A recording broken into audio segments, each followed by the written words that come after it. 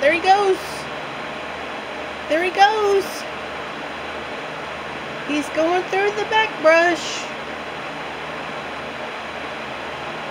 Oh, you big tease. I thought you was gonna go through there and brush your back.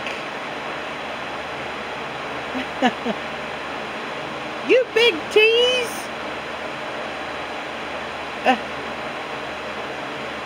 I'll be darned, man. You didn't do it.